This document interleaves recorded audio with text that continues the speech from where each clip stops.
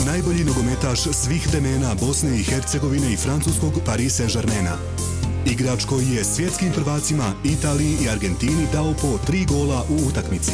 Velika stvar je poslije ovih kvalifikacija da ćemo mi bilo ko bude na, na čelu reprezentacije bez velikih problema otići na evropsko prvenstvo. Znači uvezati svjetsko i evropsko prvenstvo, to je i za naš futbal i za Futbolski savez, strašna, strašna stvar. Gost emisije, selektor reprezentacije Bosne i Hercegovine, Safet Sušić.